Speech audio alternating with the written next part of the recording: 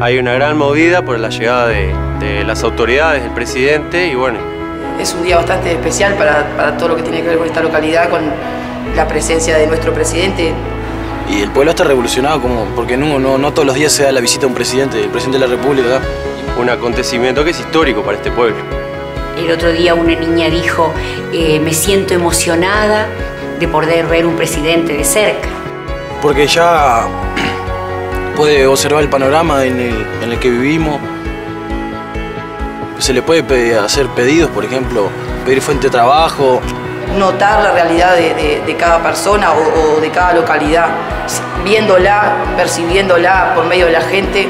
Y poderle dar a conocer nuestras inquietudes y nuestros deseos y qué es lo que esperamos de estas personas que fueron electas por un pueblo.